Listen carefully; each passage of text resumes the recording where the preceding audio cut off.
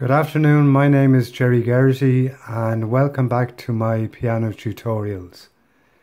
The chord we will cover today is the E major chord and we'll start with the root note which is E and we'll count up four notes from F to F sharp to G to G sharp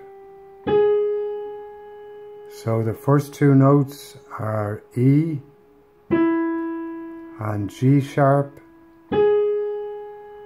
And we'll count up three more notes from A to B flat to B.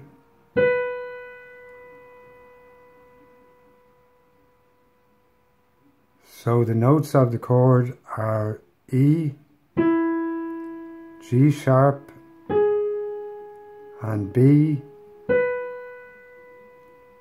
and play together.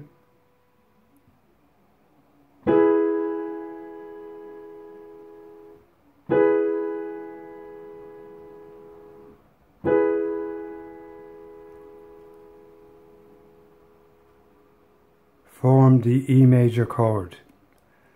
Thank you very much for your time and I will see you on the next video. Thank you.